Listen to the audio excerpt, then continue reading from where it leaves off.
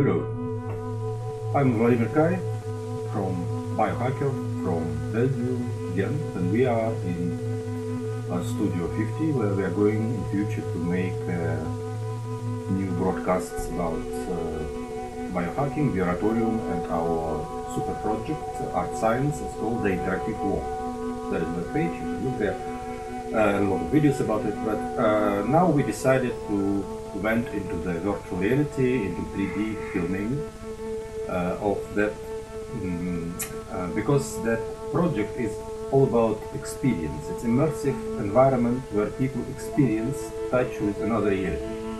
And it started a long time ago, like 2013, I guess, uh, with Reinout Linus, um, uh, very fruitful collaboration. And since then, like 600 people went through our installation, but it's an session, uh, experience. And by filming it from outside, it doesn't look pretty impressive.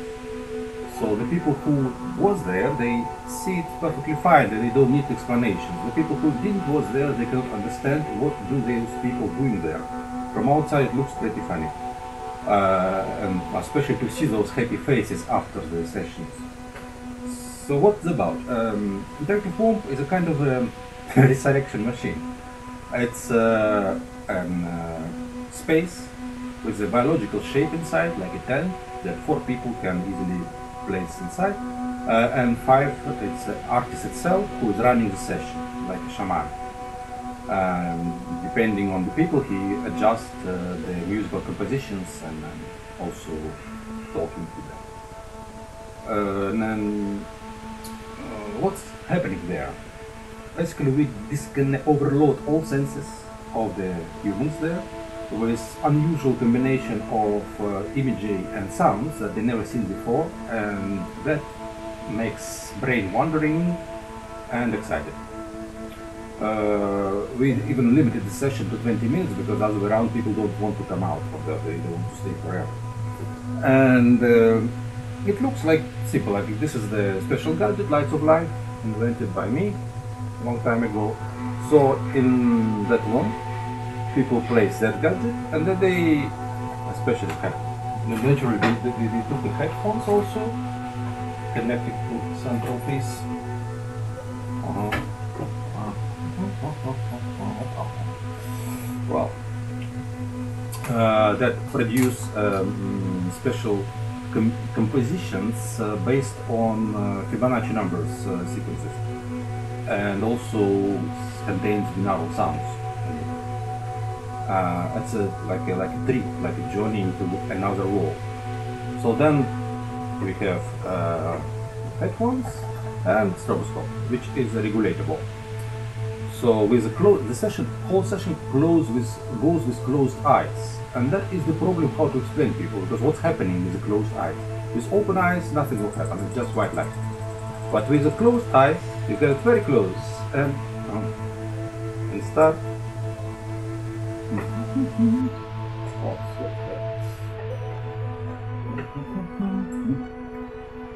One and, and, and start to play with stroboscope. Yeah. yeah. And, and, and, and start to play with stroboscope, uh, getting it very close with the distance, moving it the way you like, changing angles, and also changing the frequency. So it goes, it has a very nice frequency around 7 Hz and another one at 13 Hz. And uh, in fact, there is another one frequency, but those stroboscopes are not allowed to sell in Europe. Even this one is not very real. Uh, so, so uh, when you see it with closed eyes, with, all the combination of things, then you, you jump into what I was calling long time ago some kind of another reality. There was no word virtual reality at that time. Uh, and then it's, it's a very, very beautiful world which we don't want to come out of it. It's uh, essentially, it's, it's, it's like a child was born and what he see, it's uh, hmm, all kind of patterns, uh, colors, uh, lines and, and, and, and movements that he doesn't know how to react and how to understand and brings so slowly from that flow of primary reality uh, in the brain starts to build up that reality that we know now. That everything has an object, everything has a name.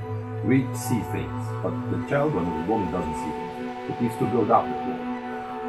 Um, so that experience of getting back to to the moment of birth is very exciting. And well, uh, we saw like almost 600 people went through our installation that they love it enormously. Especially some people just getting crazy laughing and uh, in, a sense a kind of uh, psychedelic experience, but without drugs, just with the light. Uh, the similar machine exists uh, in Austria. The same time was invented, like some cosmic force came to me and at the same time in uh, Austria. And then Gelbert and Dr. two scientists and um, Dirk Proeckl, they invented Lucia number 3 machine. If you Google Lucia number 3, you will find out that it's, but it's pr primarily the stroboscopic effects.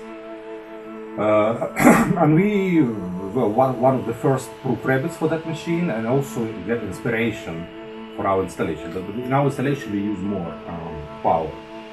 That's not really about healing people, it's about strange experience.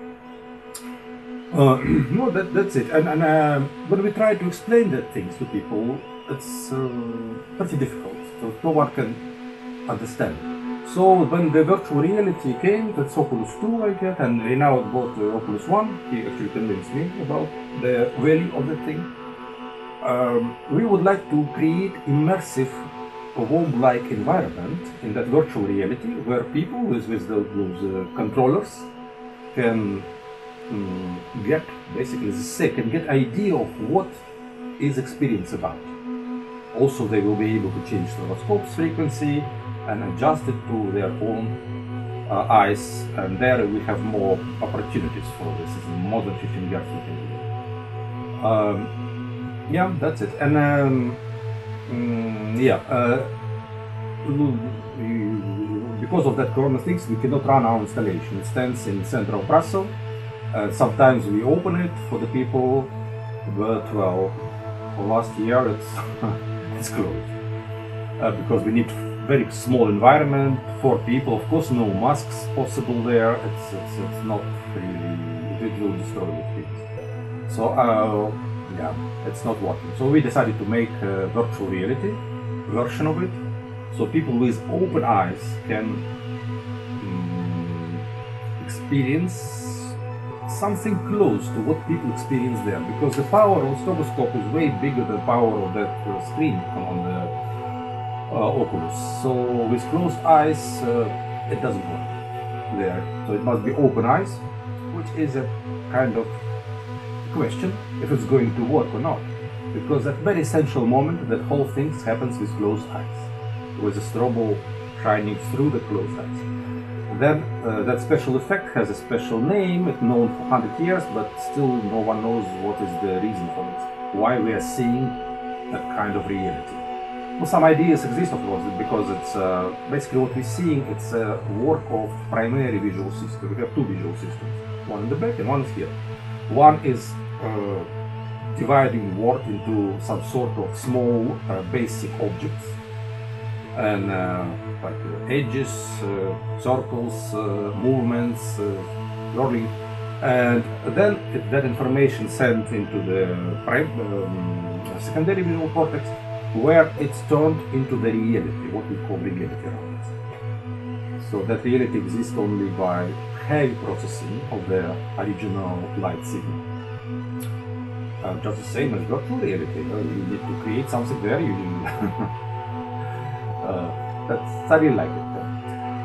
Uh, well, so that's it. So uh, soon we are going to try to create that um, application for the Oculus uh, virtual reality headsets that will allow you to jump, to immerse into our artistic installation that we would like people to copy, but no one wants to copy. That's, that's so strange that, people just enjoying it and then they, oh no, it's too well, we've never seen any epileptic charges and we've never seen anything really uh, bad from that installation, even though the worries exist.